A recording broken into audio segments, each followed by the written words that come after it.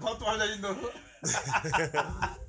Olha aí, galera. Mais uma vitória em cima de Jeffrey, né? Isso, Jeffinho? É isso aí. O fracassado tá aqui, dormiu a tarde toda, chegou agora.